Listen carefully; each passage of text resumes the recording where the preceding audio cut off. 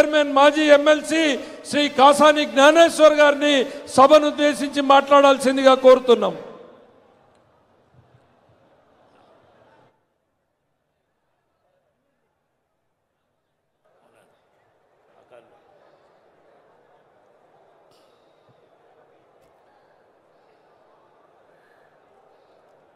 ఈనాటి ఎన్టీ రామారావు గారి యొక్క వంద సంవత్సరాలు పూర్తి చేసుకున్న సందర్భంగా ఈ కార్యక్రమానికి విచ్చేసినటువంటి గౌరవ పెద్దలు పూజ్యులు నారా చంద్రబాబు నాయుడు గారికి యువతను ఉరి తొలగిస్తున్నటువంటి యువ కిరీటం లోకేష్ బాబు గారికి అదేవిధంగా పెద్దలు అచ్చెన్నాయుడు గారికి వేదిక మీద ఉన్న పెద్దలకు వేదిక కింద ఉన్న పెద్దలకు కుటుంబ సభ్యులకు మీడియా మిత్రులకు పేరు పేరున నమస్కారం. మిత్రులారా ఎన్టీ రామారావు గారు ఒక శక్తి. ఆయన ఎప్పుడు ఏ పని చేసి పెట్టినా ఒక పెద్ద ఎత్తున మరి ఆ రోజు తెలుగువారి యొక్క ఆత్మగౌరవాన్ని సూచించినటువంటి ఆ దాఖలాల పట్ల నిరంతరము తెలుగు ప్రజల యొక్క ఆశలను అడియాతలు చేస్తున్నటువంటి సందర్భంలో ఆనాడు లక్షలాది రూపాయలను విడిచిపెట్టి నన్ను నమ్ముకున్న ప్రజల గురించి సేవ చేద్దామన్న తపనతోని ఆ రోజు పెద్ద ఎత్తున మన ఈ తెలుగుదేశం పార్టీని పెట్టి దానిలో ముఖ్యంగా బీద పడుకు వర్గాల యొక్క అభ్యున్నతికి ఆ రోజు పెత్తందారి వ్యవస్థ లోపల నలిగిపోతున్నటువంటి బీద బడుగు వర్గాలకు సముచిత న్యాయం చేయాలన్న ఉద్దేశంతో యావత్తు సబ్బండ వర్గాలకు న్యాయం చేయాలన్న తపనతోని ఆ రోజు మరి పెద్దలు పార్టీ పెట్టి తొమ్మిది నెలల మరి పార్టీ నిర్మాణం చేసి ఆయన చేసినటువంటి పనులు ఆహార భద్రత రెండు రూపాయల కిలో బియ్యం పేదవానికి కడుపు నిండా అన్నము ఉండడానికి ఇల్లు కట్టడానికి బట్ట.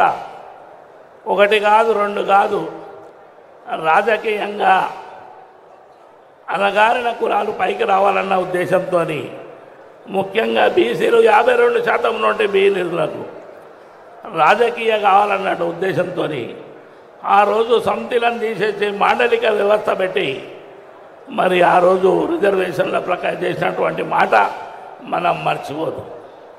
దాని తర్వాత ఆ యొక్క ఆత్మగౌరవం తర్వాత మరి పెద్దలు పూజలు చంద్రబాబు నాయుడు గారు ఆత్మవిశ్వాసంతో ప్రజలందరికీ ఆ రోజు మైనార్టీలో ఉన్నటువంటి మైనస్లో ఉన్నటువంటి మున్సిపాలిటీ ఏరియాలండి ఏది తీసుకున్నా దాన్ని అభివృద్ధి పథంలో నడిపించి పటిష్టమైన నాయకత్వంతో ప్రతి మున్సిపాలిటీ తన కాళ్ళ మీద కాళ్ళు నిలబడేటట్టుగా తయారు చేసి వేరే వాళ్ళకు కూడా దిక్కుసూచిగా ఉన్నటువంటి మాట మనం మరవకూడదు.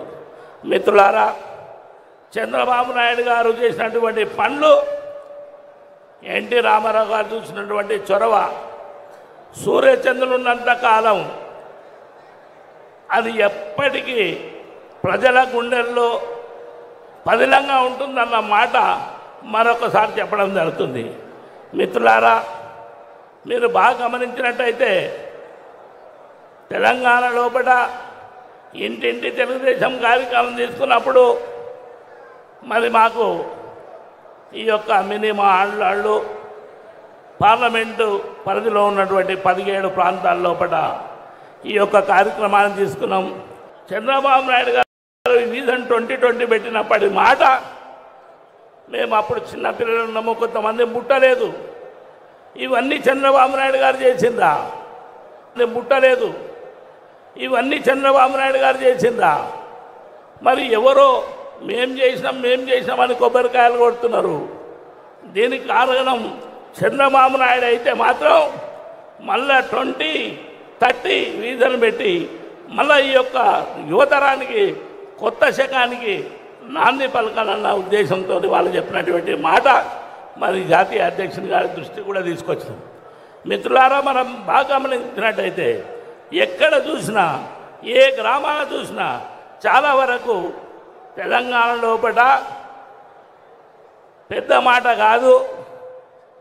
తెలంగాణ లోపల ఇప్పటికీ ప్రతి ఇల్లును తట్టిన చంద్రబాబు నాయుడు ఎన్టీ రామారావు గారి యొక్క జ్ఞాపకాలు చంద్రబాబు నాయుడు గారు చేసినటువంటి పనులు ప్రతి ఒక్క యువత ఈరోజు లక్షలాది రూపాయలు ఐటీ పార్కులు చేసి వాళ్ళతో సంపాదిస్తున్నటువంటి మాట మరవలేమని గంటాపటంగా చెప్పినటువంటి మాట. చంద్రబాబు నాయుడు గారు అదే పని కాదు క్రమశిక్షణ. క్రమశిక్షణకు మారు పేరు తన వాళ్ళైనా మంది వారైనా క్రమశిక్షణకు లోనుబడే ఉండాలన్న ఉద్దేశంతోనే ఆ రోజు హైదరాబాద్ పట్టణాన్ని ఓ క్రమశిక్షణ నడిపించినటువంటి మహనీయుడు. మీరు బాగా గమనించినట్టయితే ఈరోజు మీడియా మిత్రులకు కూడా చెప్తున్నా మీకు. మీడియా మిత్రులకి ఈరోజు ఏది వేయాలన్నా ఆ సైకోలు కానీ మా దగ్గర ఉన్న ఓ పిచ్చోడు కానీ ఇవన్నీ కూడా మిమ్మల్ని భయపెట్టిస్తున్నారు. మీరు భయపడుతున్నారు. ఆ రోజు చంద్రబాబు నాయుడు గారు మూడు ముక్కలు ఏ పేపర్ అని వస్తే తర్జన భర్జన చేసి సెక్రటరీ అంటే ఒక్కటి చేసి ఆ యొక్క పని మళ్ళీ జరగొద్దన్న ఉద్దేశంతో మందలించేవాడు. ఈరోజు వాళ్ళు లేకపోయారు మీడియా మిత్రులు బాగా గమనించాలి మీరు. ఎందుకంటే వాస్తవాలను వాస్తవాలను చూసినట్టు చేయండి. మేము ఎంత చెప్పినా మీడియా మిత్రులు మీరు ఎంత చెప్తే అంత జరుగుతుంది. ముఖ్యంగా ఈ అలా యువతరం వచ్చారు యువతరం మన గురుతరమైన బాధ్యత ఉంది. మన నాయకుడిని కాపాడవలసుకున్న బాధ్యత మనందరి మీద ఉంది. ఇంకొక పని ఏంటంటే మీరు బాగా గమనించాలి. మన నాయకుడు పోయినప్పుడల్లా దయచేసి మీరు ఎన్నుకుండకూరి. మనొక జెండా పసుపు జెండా పెద్ద పెద్ద కట్టెలతోని ఓ నాలుగైదు వందల మంది యువతులు మీరు యువకులు ముందు నడవండి. ఎవడన్నా వచ్చినా తరమండి వాళ్ళను అప్పుడే మన యొక్క జాతికి కానీ మనకు కానీ న్యాయం జరుగుతుందని మీ తరమను చేస్తున్నాను. వాళ్ళు అన్నీ పోయినాయిగా డబ్బుల కథ పోయింది. పోలీస్ కథ చేత అయితలేదు రేపు ఆ పని చేయబోయిన టైంకు మీరందరూ కూడా ఎదురు తిరగబడవలసిన అవసరం ఉందని మీ అందరితో మనవి చేస్తూ మిత్రులారా చాలా వరకు మళ్ళీ మళ్ళీ చెప్తా